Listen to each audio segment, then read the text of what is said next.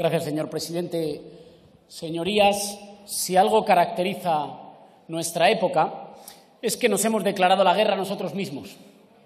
Una guerra contra el planeta y contra el clima, una guerra contra el de al lado, que es un recurso del que valerse o un competidor al que pisar, y una guerra contra cada uno de nosotros, contra nuestros cuerpos y nuestras mentes. Y esta guerra la estamos perdiendo porque esta guerra solo se puede perder. Por eso millones de personas sufren y por eso cada día 11 personas se quitan la vida en nuestro país. El modelo actual de sociedad no se sostiene porque es ecológicamente inviable, porque es socialmente injusto, pero también, y atrevámonos a decir la verdad, porque es psicológicamente insoportable. Si mañana desaparecieran las benzodiazepinas, el alcohol, la cafeína y los antidepresivos, España colapsaba. Y lo sabemos todos aquí y sin embargo hacemos como si no pasara nada, como si fuera normal un modelo que solo subsiste con toneladas de psicofármacos. La inmensa mayoría, todos en algún momento, no podemos más, nos rompemos, tenemos la sensación de no hacer o no ser nunca suficiente, de tener la culpa, de no estar a la altura o de no encajar, de hacernos daño o de hacérselo a quien queremos, de vivir al ritmo frenético de las pantallas, de vivir bajo la dictadura sonriente de una ideología del éxito que esconde por debajo mucha soledad, que esconde muchas frustraciones, que esconde mucha angustia, mucha ira y mucha pena. Pero nos equivocaríamos si esto lo viviéramos como una suma de casos individuales, que se multiplican porque sí. Este malestar no te pasa solo a ti. No es solo una condición individual, es también una condición de época, la nuestra, la época del malestar. Y este malestar tiene que ser politizado, yo sé que ahora está de moda decir que no hay que politizar las cosas. Cuando alguien dice que no hay que politizar las cosas, está diciendo que las vivas solo, que las vivas en silencio y que las sufras solo. Politizarlo es decir que tiene causas, que tiene soluciones, que de esta se puede salir, pero que no se sale solos, que se sale juntos y como pueblo, que un país es lo que te cuida cuando no cuida nadie más de ti. Se trata sin duda de un fenómeno que tiene muchas causas. Vivimos cada vez con menos tiempo para nosotros y para quienes queremos, de casa al trabajo y del trabajo a casa con la atención colonizada por las pantallas, sin espacio ni tiempo para las cosas que de verdad nos gustan.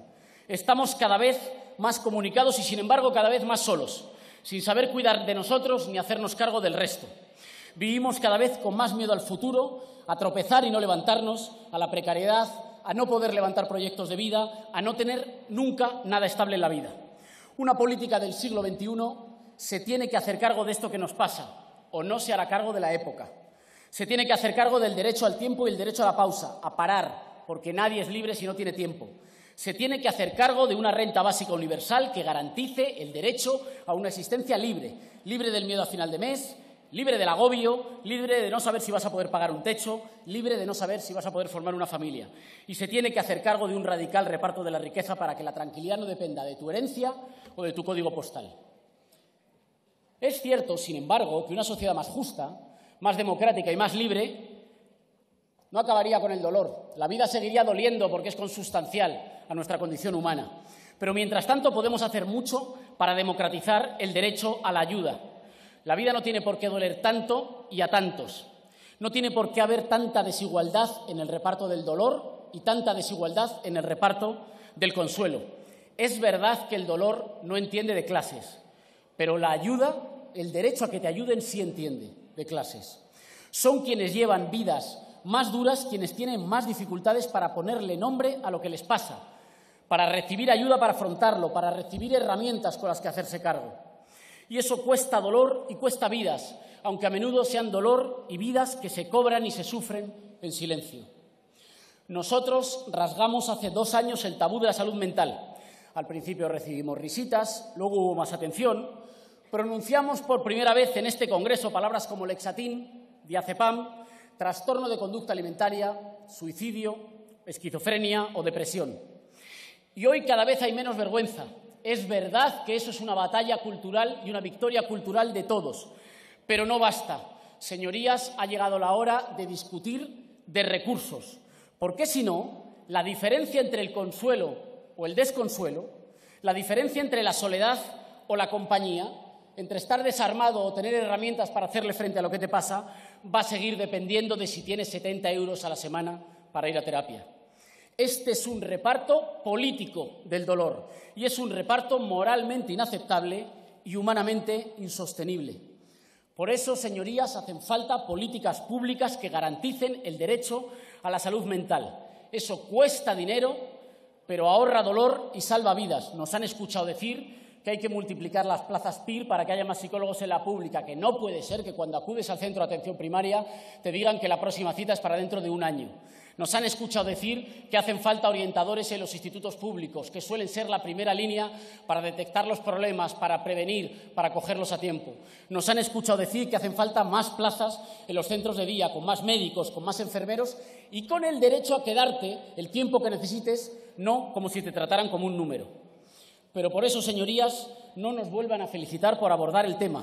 Pongan recursos suficientes en la sanidad pública para que la salud mental sea un derecho. Hoy les venimos a traer una propuesta concreta, sencilla, barata e inmediata para un problema urgente y uno de sus efectos más brutales y más duros. Cada día se quitan la vida en España 11 personas porque no pueden más. 11 al día. Es evidente que esto es un fracaso como país, pero es que lo intentan muchas más personas y muchas más dan señales sin que nadie haga caso y atienda a esas señales. Es clave, señorías, el acompañamiento.